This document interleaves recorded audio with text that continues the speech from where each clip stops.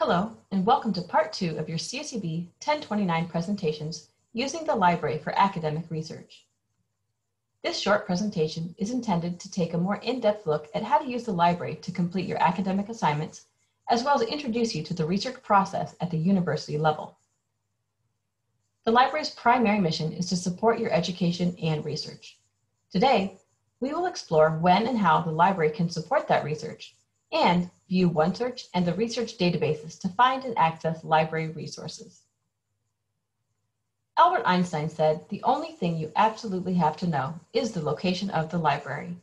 We know you are here to learn, and your professors and instructors don't expect you to know everything, but they will expect you to know where to find the help you need.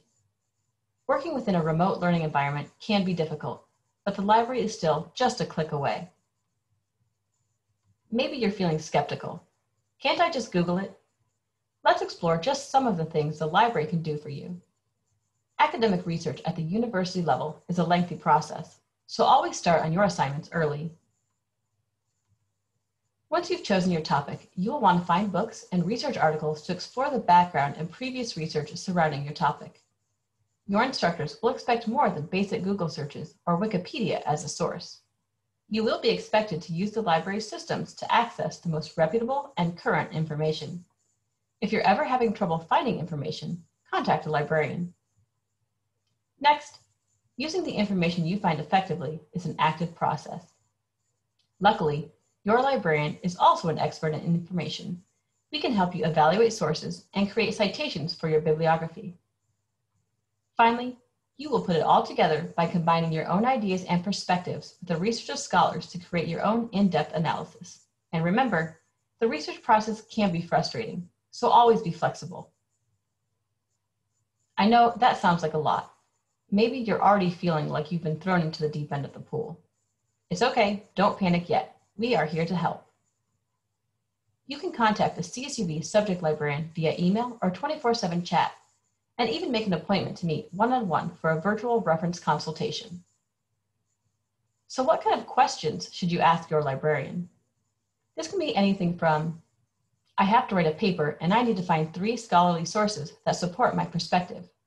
Or it could be even something more complex, like I need help finding socioeconomic data that supports a link between poverty and childhood diseases. Your instructor might use words like scholarly and peer-reviewed how will you know if something is reputable or current? What does it mean for something to be evidence-based? A librarian can help you understand all of this and more. The library's homepage is your gateway to access. There's a lot of information here, hours, events, services, but today we are going to look at OneSearch. This is where you sign in to your library account using your CSUB NetID and password. Always sign in first before searching. Our search default is set to what is available in full text, but you can also expand your results to see everything. This means that even though we may not have access to the full text at CSUB, you can still request it. An expanded search includes all of the materials at other CSUs and even other libraries across the country. The library is committed to getting you the resources you need to complete your assignments and research. Remember, you must be signed in with your NetID and password to see this option. Having trouble accessing the full text of a book or article? Linking to library resources from off campus can have its problems. If you're ever unable to access the full text of a resource, use the Report a Problem button available within each OneSearch record. Reporting a problem not only helps you, but also improves our system for other students. Double check your contact information to ensure we get back to you as soon as possible.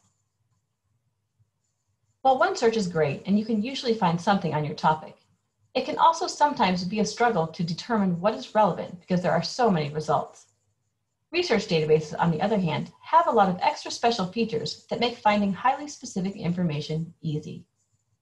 You can find the library's databases in multiple ways, through the database A to Z list or by subject.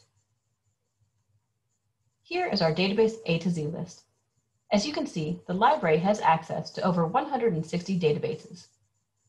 Each database has a description which explains what kind of topics they might cover.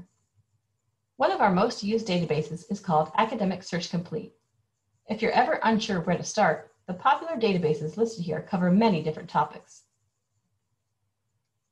Databases are the perfect place to refine your search. They will even suggest search terms and synonyms that you may not have thought of on your own. Here, you can see all of the other terms for undergraduate students, such as college student or university student.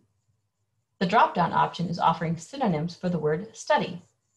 Notice how similar terms are grouped on the same line with OR, and main concepts are combined by using AND. Databases help you construct powerful search statements and have tools to create citations for your bibliographies. The CSUB library is also available on your CSUB mobile app. Download this app today to start taking advantage of all the library's services and resources. Also, the CSUB IT Help Desk is an important resource to know about, especially if you can't log into your library or Canvas accounts. Thanks for listening, and I hope you enjoyed this presentation. If you have any questions on the content covered, please don't hesitate to contact the library.